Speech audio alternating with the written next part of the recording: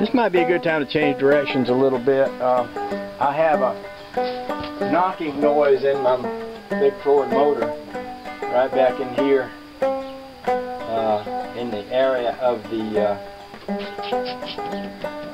uh, rocker arms back here on back. So I think it would be prudent to pop the valve covers off of here and just have a look and see what's going on in there. And I don't even think I'm going to crank it. I know it's cold. And probably take a little gas in the carburetor to crank it. But I think before I do that, I'm just going to pop off the valve covers and just look and see what's going on there. One thing about it, it's not hard to get these off. There's one bolt on the front, one bolt on the back.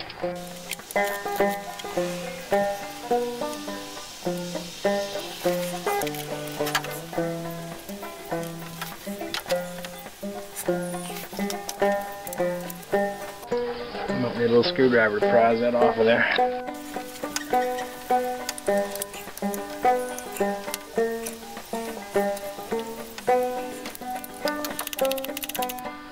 Stuck on there pretty good. I must have permatexed it down on there, I guess. Probably did. Hmm.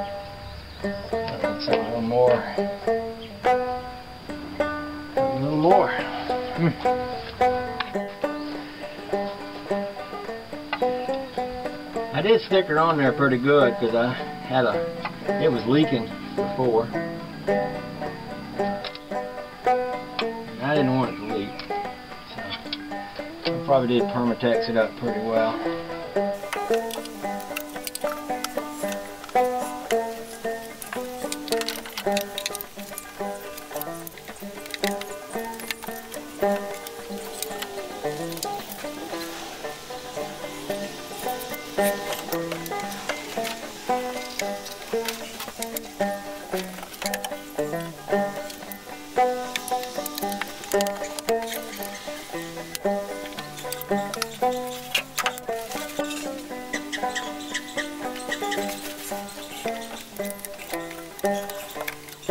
Okay,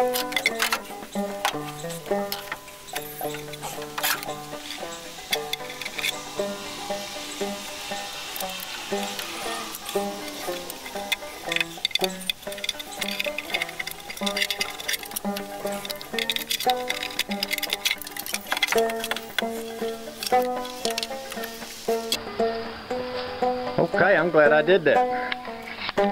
The problem became evident right away. And I don't know if you can see it or not, but see this rocker arm is sticking way up here in the air? That's just not natural. That, my friends, is, well, it's at least a broken uh, rod, if not bent, if not fallen down into the motor there somewhere, but the the uh, the, the rod, that's supposed to be a rod right here that works these rocker arms, see that? Well, there's not one at all, right there.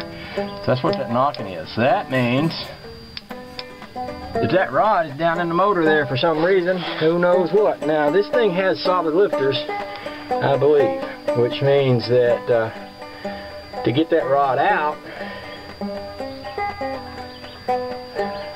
let me think.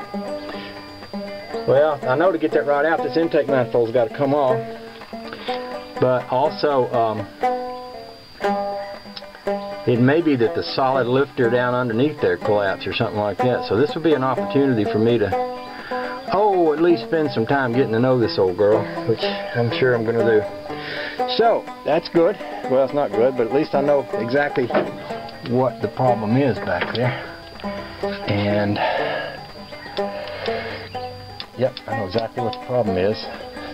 I guess the big question is, where did that rod go? Oh, that means it's down in the motor somewhere. Mmm, that's not a good sign. Mmm.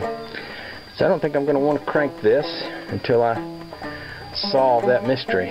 Which means, see, drain out the antifreeze, unbolt that uh, manifold.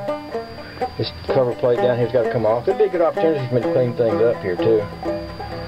I'll go ahead and pop off the carburetor. I've got a uh, four barrel intake that will fit this car in the other room that some YouTuber sent me ages ago.